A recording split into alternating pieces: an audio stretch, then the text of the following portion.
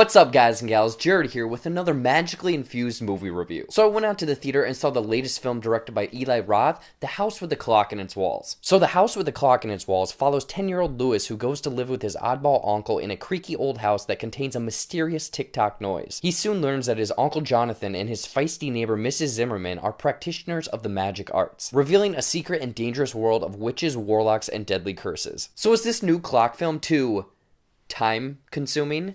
Let's find out. Now, before I get into my thoughts, let me know what you guys thought of the movie down below. Was this a nice change of pace for Eli Roth, and what's one of your favorite Jack Black movies? Now let's get into some of the good things that this film did. So I thought that The House with the Clock in its Walls was this nice kind of like PG horror film for a younger audience. It sort of felt like it had vibes from Goosebumps, which makes sense because Jack Black is also in that movie, but it also took things from like The Pagemaster and something like The Sorcerer's Apprentice. It had this lighthearted tone through most of the movie that was definitely geared towards a younger audience, but had some darker imagery leaning into the horror side of Eli Roth's career. The acting slash leads of this film were another great thing that this book to screen adaptation had going for it. Jack Black is wonderful at playing this like strange oddball warlock slash uncle character. Again, I have to compare this with Goosebumps because his demeanor and character is very reminiscent of that character from that film, and it was just really wonderful and fun to watch him on screen. Quick-witted, and the delivery of some of his lines really add that great Jack Black humor that we're used to into this film. On the other hand, Cate Blanchett is just as great. Personally, I enjoyed her more. Playing the odd, quick-witted neighbor. She was charming all throughout this film. I mean, they maybe could have used her a little bit more in some sections,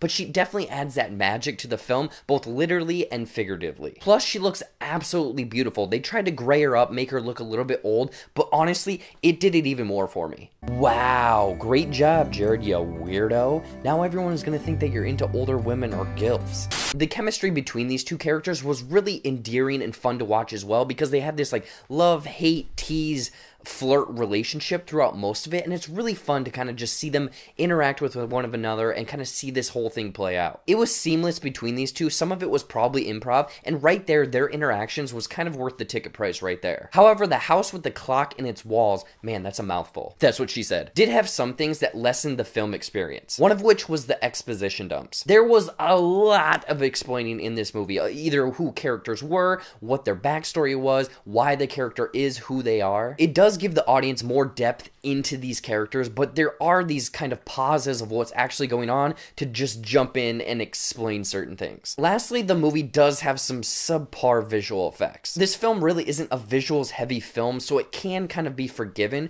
but the times or few times that there are visual effects on the screen, they are very noticeable. It takes you out of any sort of realism in this film into more of a fantasy oriented film. One instance of this is this Blumpkin. Ow! Sorry, pumpkin scene from the first trailer. Like I said, this movie doesn't really strive for the best effects out there, but it does kind of come off as low budget at times. Overall, The House with the Clock in its Walls is this PG horror film geared towards younger audiences that does have some darker imagery. With this light-hearted, toned-down horror vibe, some great performances, and some solid chemistry amongst the leads, but with lots of exposition dumps and some less than great visual effects, I'd say that this is an okay film to go watch or check out. This is geared towards a younger audience, so it might be a fun movie to take your kids to. So what did you think of this film? Was this a nice little PG horror film to ease into the genre? Or did this film really not have that much to offer? I want to hear about it in the comments below. As always, you can find me on the social medias at Jared Buckendahl on Twitter, Instagram, Facebook, and Stardust. And don't forget to like, share, and subscribe